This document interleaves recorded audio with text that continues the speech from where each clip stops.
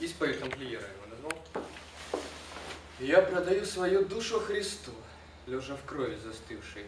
Жизнь словно с древа листву, как ветер унесу закруживший.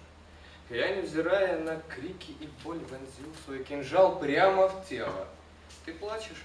А я говорю тебе, пой, ведь тебе достается за дело. Кровь на лице, на руках, на мече. Это лишь малая плата. За то, что пошел ты в мечеть, а не в церковь с крестами из злата. Я продаю свою душу Христу, обогрев свои руки при этом кровью всех, кого в этом бою ты.